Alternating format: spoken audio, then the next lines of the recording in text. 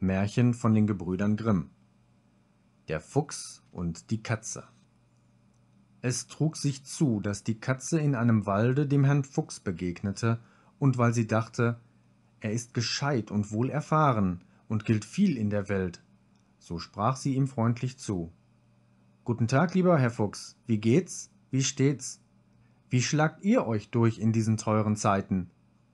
Der Fuchs alles Hochmutes voll betrachtete die Katze von Kopf bis zu Füßen und wusste lange nicht, ob er eine Antwort geben sollte.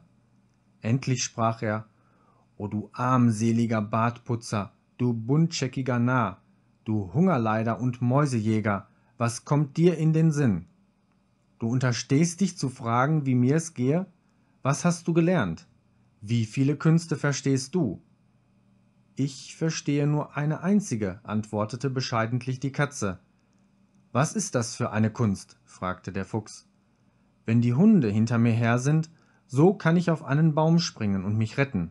Ist das alles? sagte der Fuchs. Ich bin Herr über hundert Künste und habe überdies noch einen Sack voll Liste.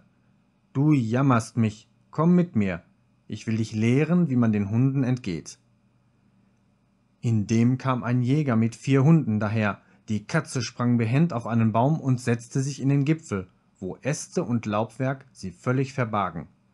Bindet den Sack auf, Herr Fuchs, bindet den Sack auf, rief ihm die Katze zu, aber die Hunde hatten ihn schon gepackt und hielten ihn fest.